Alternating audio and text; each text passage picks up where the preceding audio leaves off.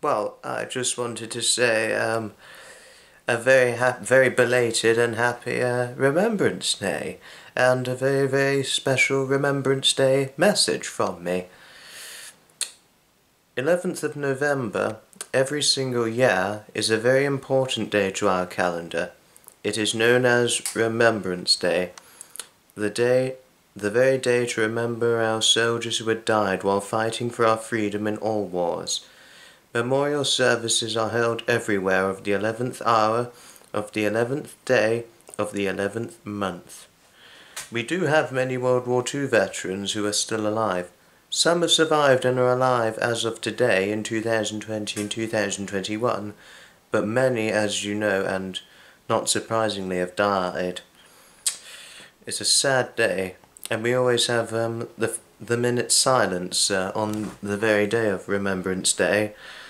And uh, Remembrance, Remembrance Sunday is when we have the uh, special memorial service, which couldn't be done very properly this year, but um, hopefully next year or two will be um, the full memorial service, dedicating the memoriam of um, the soldiers who uh, fought for our freedom in World War One and World War Two. Yes, and even if there are many of you who are very, very cynical about um, about this and don't care about the fallen or things, you please, you really must remember that uh, Remembrance Day is not about over glorifying war. It's about the conflict which we've suffered through, a reminder of why we must never have a world war again. It's also a time to, re- to reflect the soldiers who have passed away as well, who had fought for our freedom, as a blunt message.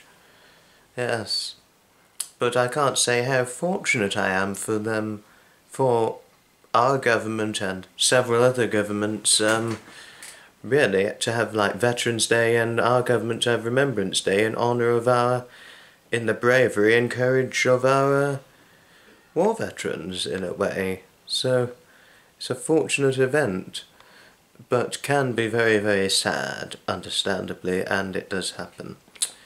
Thanks for listening to my message, everybody, and I'll see you in the next video. Bye bye, everybody. From your friend Foxy.